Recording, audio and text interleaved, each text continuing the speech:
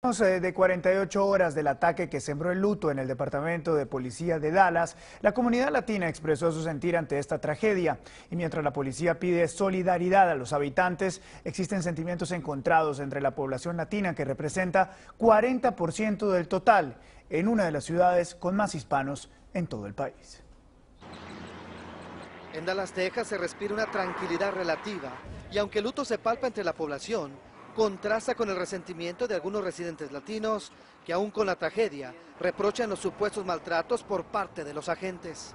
Es que los policías no, lo, no, tratan bien a la gente, o sea, por cualquier cosa, luego, le, lo esposan o, o, le pegan con la pistola eléctrica, lo, lo chicharrean. Si ustedes sienten que hubo un maltrato, que por favor reporten, porque nosotros los buenos oficiales Estamos haciendo todo lo posible de sacar a los malos y sabemos que hay. La matanza en Dallas, que tuvo lugar durante una protesta contra las acciones de la policía, fue realizada por Mika Javier Johnson, de 25 años, quien se quejó del desempeño de los policías estadounidenses en lo que al trato de las minorías se refiere.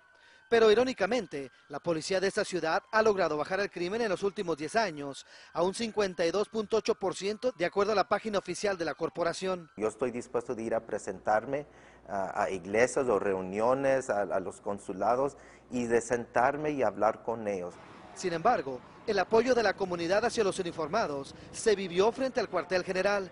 Flores y mensajes inundaron el altar improvisado a la memoria de los policías caídos. El señor Herrera, quien tiene a dos familiares en la Fuerza del Orden, reconoció su labor, pero no pasó por alto el distanciamiento entre la policía y los latinos.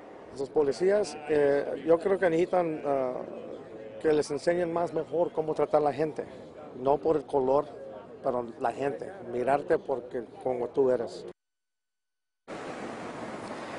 Cabe recalcar que la diócesis de la Iglesia Católica de aquí de Dallas, Texas, está llamando a los feligreses aquí este fin de semana, acudan a las diferentes misas para que por medio de la oración puedan sanar este luto que llevan dentro. Por otro lado, la Asociación de Policías de Dallas llevará a cabo un velorio privado el próximo lunes para las cinco familias de los afectados por esta matanza.